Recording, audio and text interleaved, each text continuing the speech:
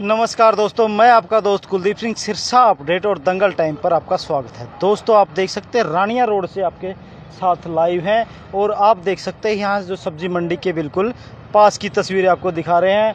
ये यहाँ क्या रोड के ऊपर एक अवैध रूप से गौशाला बनी हुई है। क्या हालात है आप देख सकते हैं। जो गौ माता है गौ गाय के ऊपर इतनी बड़ी राजनीति होती है। गौ माता कितनी बद हालत में यहाँ आप देख सकते हैं। क्या हालत बनी हुई है और कूड़े के जो ढेर लगे हुए हैं और आ, हालात जो आप देख सकते हैं सिरसा के अंदर क्या स्थिति बनी हुई है। जो कब कूड़े में जो मुँह मारने के लिए गौ माता मजबूर है लाचार है ऐसी स्थिति बनी हुई आप देख सकते हैं। और आप बिल्कुल जो ये जो ये पानी है, ये भी गुरलाल जी, क्या स्थिति, क्या बना हुआ यहाँ? नमस्कार भाई साहब, ये तो प्रशासन जो है ना जी, उसने बिल्कुल अपनी आँखें बंद कर रखी है, जनता को राम भरोसे छोड़ दिया है। तो जब जनता हर तरह से अपना भरपूर टैक्स भरती है, उसके बावजूद जनता की कहीं सुनाई नहीं है, कहीं शिकायत कर लो, कहीं कोई अपील, दलील कुछ नहीं है। ये जो नगर परिषद के जो अधिकारी हैं वो जनता के सेवक होने के बजाय मालिक बने बैठे हैं। भी हमारे ऊपर कोई अपील दलील नहीं है। जो हम करेंगे वही सत्य है। हम जनता को नरक में डालें वही उनको स्वर्ग मानना पड़ेगा। तो ये जो है अब जनता अपनी सफ़ाई कितने टाइम तक करे? जनता अपनी घर की सफ़ाई करे या अपने घर के काम धंधे करे या इनकी सड़कों की भी सफ़ाई करे? अगर सड़कों की भी जनता नहीं करनी है लाल जी तो, मैं टोकना चाहूँगा बीच में। आप मैं कैमरामैन को कहूँगा उधर की तस्वीरें थोड़ी सी दिखाई ज़्यादा ना दिखाए ज़्यादा ना दिखाए बस बस। क्योंकि वो तस्वीरें विचलित कर सकती हैं। यहाँ जो स्थिति बनी है पड़ी है बदबू जो उठ, उठ रही है यहाँ पे क्योंकि जो फ़िलहाल जो स्थिति है कुत्ते क्या खा रहे हैं हम बस कुछ कह नहीं सकते। ऐसी स्थिति है बुरा हाल जो मचा हुआ है। आपके सामने की जो लाइव तस्वीरें हैं और ये हालात है ये गौ माता यहाँ मजबूर है कूड़े के ढेर में मुँह मारने के लिए और जो गाय के ऊपर राजनीति होती है। ये ये जो पब्लिक हेल्थ जो डिपार्टमेंट है अब ये किस लिए है? अब ये प्रशासन जो है ना, इतनी चिड़ रखता है, अगर कोई जनता अपनी सफ़ाई आप भी करने लग जाए ना तो प्रशासन उनसे चिड़ रखने लग जाता है। अब यहाँ सीवरेज का गंदा पानी छोड़ रखा है। भी कोई जनता अपनी सफ़ाई आप कर भी ना ले तो इसका जो नतीजा है, आखिर कौन भुगतेगा? जनता ही भुगतेगी। तो मैं जनता से अपील करूँगा, आने वाली जो विधानसभा चुनाव है, ये जो नगर परिषद के जो अधिकारी हैं, अपनी तानाशाही दिखा रहे हैं, प्रशासनिक अधिकारी जो इतनी लापरवाही बरत रहे है, ये जनता को राम भरोसे छोड़ रखा है, मरने के लिए छोड़ रखा है। अब इतनी बीमारियाँ फैल रही है, इसका आखिर कौन जिम्मेदार है? जनता को क्यों दुखी कर रखा है? जनता का इसे, इसमें क्या कसूर है? क्या इसके लिए भी जनता अब बाल्टियाँ ले लेके जनता पोचा लगाएगी? ये पब्लिक हेल्थ जो है, उनका कोई ज़िम्मेदारी नहीं बनती। क्या सिर्फ़ इनका बिल बनाने का मकसद है? ये जो नगर परिषद है, उनके सफ़ाई के नाम से सिर्फ़ बिल बनाने हैं। क्या उन्होंने ठेकेदार को ठेका दे दिया? उनकी ज़िम्मेदारी ख़त्म। उन्होंने, कोई उनका निरीक्षण का फ़र्ज़ नहीं बनता भी उन्होंने क्या निरीक्षण किया है। जो पोल्यूशन कंट्रोल बोर्ड है, वो क्या सिर्फ़ ड्राई फ्रूट उगाने के लिए आते हैं? तो जितने भी ये अवैध डंप बने हुए हैं, ये प्रशासनिक अधिकारियों की मिली बख्श से मैं तो कहूँगा भी उन्हीं की मिली से बन रहे हैं नहीं तो ओपन में खुले में डंप किसकी मान्यता से बन सकते हैं? पोल्यूशन कंट्रोल बोर्ड आखिर कहाँ है? क्या सिर्फ़ ड्राई के लिए वो? मैं बा, बात करना चाहूँगा गाय के ऊपर आपने स्थिति देख ली और जो पानी है सीवरेज का यहाँ छोड़ा गया ये भी स्थिति सभी देख रहे हैं लेकिन एक चीज़ और है जो गौ माता है ये तो इस चीज़ को नहीं जानती ये पशु हैं। आपके ये सामने जो तारे हैं बिल्कुल। जो नंगी तारे हैं यहाँ कोई हादसा भी तो अब, हो सकता अब है। ये जो बेचारी गाय है ये पढ़ी लिखी तो है नहीं। लेकिन बिजली निगम के जो कर्मचारी हैं अधिकारी हैं वो तो पढ़े लिखे हैं। उनको उनकी एजुकेशन देख के नौकरी लगाया होगा।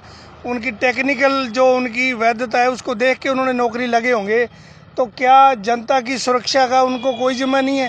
क्या बिजली निगम के जो अधिकारी हैं, जो कर्मचारी हैं, उनका अपना कोई दायित्व नहीं बनता। अब यहाँ जो कोई भी ये जो हमारा गायें और है, इनको अगर किसी तरह के कोई करंट लगता है, और लगता है तो इसकी किसकी ज़िम्मेदारी है?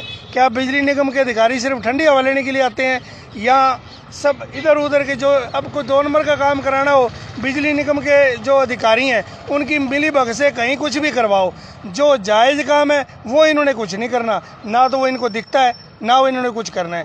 इन बिजली निगम के जो अधिकारी हैं, इन्होंने तो आँखें बंद कर रखी है, बस जो इनको दिखाते हैं, जितना के दिखाते हैं, उतना की दिखता है बस।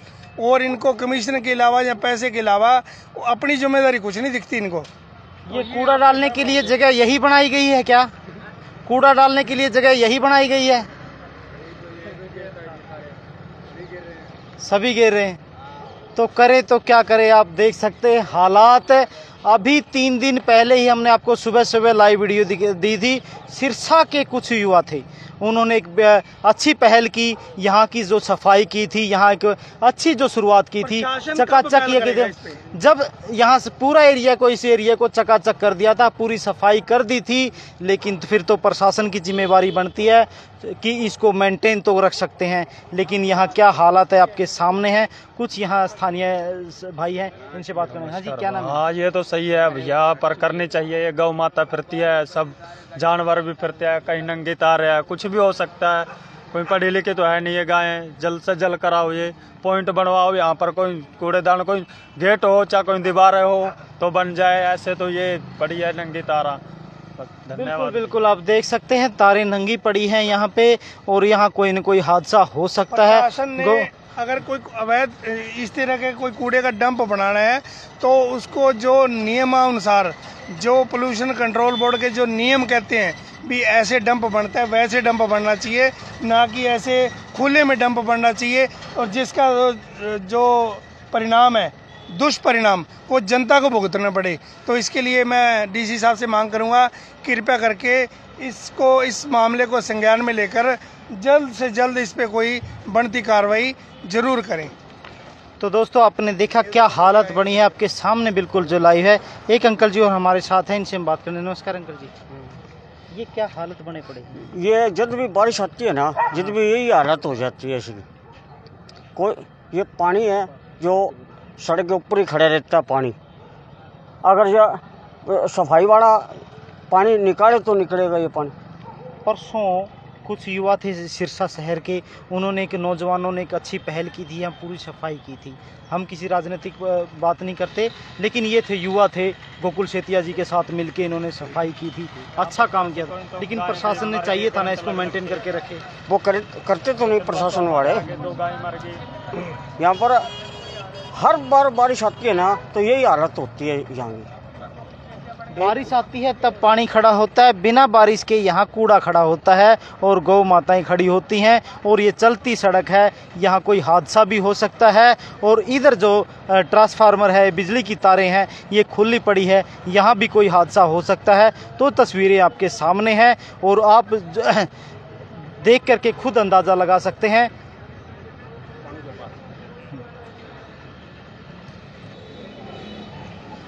ये जो गंदा पानी कुछ ये जो गंदा पानी सीवरेज का छोड़ा हुआ है, ये स्थिति देख सकते हैं आसपास के लोगों में, ये कितनी बीमारियाँ फैला सकते हैं, ये आपके सामने बिल्कुल फैला भी रहे हैं और फैला, आगे भी फैला सकते हैं। आप देख सकते हैं क्या स्थिति बनी हुई है। आपके सामने ये लाइव तस्वीरें हम दिखा रहे हैं। सिरसा अपडेट और दंगल टाइम की तरफ़ से तो धन्यवाद साथियों, इस वीडियो को इन ज़्यादा से ज़्यादा शेयर करें और प्रशासन तक ये बात पहुंचनी चाहिए। वैसे तो ये बात प्रशासन की नाक के नीचे हो रहा, लेकिन फिर भी आप इस वीडियो को शेयर करके अपना फ़र्ज़ ज़रूर निभाएँ। धन्यवाद साथियों, मैं आपका दोस्त कुलदीप सिंह, सिरसा अपडेट और दंगल टाइम की तरफ़ से जय हिंद, जय भारत।